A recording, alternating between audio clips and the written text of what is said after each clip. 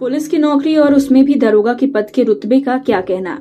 बिहार के करीब छह लाख युवाओं ने पिछले साल दिसंबर महीने में दरोगा भर्ती के लिए प्रारंभिक परीक्षा दी थी। इनमें से केवल सैतालीस हज़ार नौ सौ ही पास कर पाए हैं। और आपको ये जानकर ताजुब होगा कि जिस परीक्षा में करीब साढ़े पाँच लाख युवा फेल हो गए, उसमें बेगूसराय के एक गाँव की तीन सगी बहनों ने एक साथ कामयाबी हासिल कर सभी को चौंका दिया है। एक और दिलचस्प बात यह है कि तीनों बहनें पहले से ही सरकारी नौकरी में है। तीनों पहले से ही पुलिस की नौकरी कर रही हैं। इन तीनों बहनों के एक साथ परीक्षा पास करने से पूरे गाँव में खुशी का माहौल है। तीनों लड़कियाँ बखड़ी के सलोना गाँव की रहने वाली है। तीनों का ही बचपन गरीबी में बीता। इनके पिता निम्न वर्गीय किसान है। गरीबी के कारण तीनों की परवरिश ग्रामीण परिवेश में ही हुई। गाँव के ही स्कूल में तीनों ने शिक्षा हासिल की। बावजूद तीनों ने कामयाबी हासिल कर न अपने परिवार का नाम रोशन किया है, बल्कि ज़िले में भी ये परिवार चर्चा का विषय बन गया है। इनके पिता का नाम फुलेना दास है। माँ गृहिणी है, फुलेना की पाँच संतानें हैं, जिनमें चार बेटियाँ और एक बेटा है। बड़ी बेटी ज्योति, दूसरी सोनी और तीसरी मुनि ने दारोगा की प्रारंभिक परीक्षा पास की है। ज्योति और उनकी दोनों बहनें फ़िलहाल बिहार पुलिस सेवा में कार्यरत है। ज्योति मोतिहारी और मुन्नी जयनगर में पोस्टर है। वहीं एक बहन पुलिस सेवा में ही सर्जेंट मेजर के पद पर है। अब तीनों का सपना दारोगा की वर्दी पहनने का है।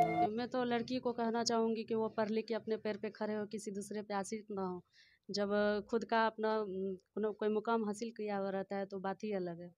और अपने पैर पे खड़ा होना चाहिए। और अपने माँ, और और जो मतलब पेरेंट्स हैं, उन लोग को भी ये कहना चाहूँगी कि वो अपनी बेटी को आगे पढ़ाई लिखाई आत्मनिर्भर बनाए खुद।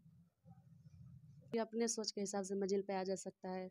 मंजिल मंजिल पाने, जब मंजिल के रास्ता में आदमी रहता है तो बहुत तरह का कठिनाई, संघर्ष, आदमी से भी बहुत मतलब ताना देता है जो ऐसे नहीं करो, ऐसे नहीं करो, लेकिन किसी के बात पे ध्यान नहीं देना चाहिए। आदमी को खुद पे मतलब भरोसा रखना चाहिए और तैयारी करना चाहिए, अपनों पैर पे जब खड़ा हो जाता है तो बात ही अलग है। जी, बिल्कुल। मैं हर माँ बाप को कहना चाहूँगी कि खासकर अपनी बेटी पे इतना ध्यान दे और इतना मेहनत करवाए कि वो खुद अपने पैर पे खड़ा हो जाए, किसी दूसरे पे आश्रित ना हो। और बस यही कहना चाहूँगी। समाज के में जितनी बच्चियाँ पढ़े उसके लिए प्रेरणा का एक स्रोत बन गई है। चर्चा का विषय ये बन गया है। तो मैं ये कहता हूँ कि सब लोग पढ़े लिखे आगे बढ़े अनुकरण मेहनत मेहनत यानी करके हर चीज़ को ये करके मंजिल पाने का अगर मन में तमन्ना हो तो ज़रूर पूरा होगा। हमको लग रहा था कि आगे कुछ मंजिल पाने के लिए वो बहुत मेहनत काफ़ी मेहनत कर रही थी। और अगल बगल के की क्या उम्र होगी आपकी बच्ची की? विभिन्न तीन बच्चे तीन को अलग अलग हाँ। तो शादी अभी नहीं हुआ ना? एगो का हुआ बड़ी वाली की? बड़ी वाली का हुआ। बड़ी वाली की शादी हो गया। अब दो दो की अभी नहीं हुआ। तो क्या होगा उम्र? दोनों उम्र होगा एगो को पच्चीस होगा। चौबीस चौबीस होगा चौबीस चौबीस चौबीस चौबीस चौबीस। और बीस। लमसम एवरेज मतलब चौबीस हाँ। बीस हुआ। तो क्या कभी आपने सोचा कि अब पढ़ाई जो है सो यहीं तक बंद करवा के और शादी कर दें अपना घर बसा लेगी। नहीं आपके मन में ऐसा कभी आया ख्याल? कभी नहीं आया था ये बात। ऐसा कभी नहीं आया था? कभी नहीं आया था। मन में यही आता रहा कि जितना ज- जल्दी हो अपना कुछ मुकाम हासिल कर ले पढ़ लिख के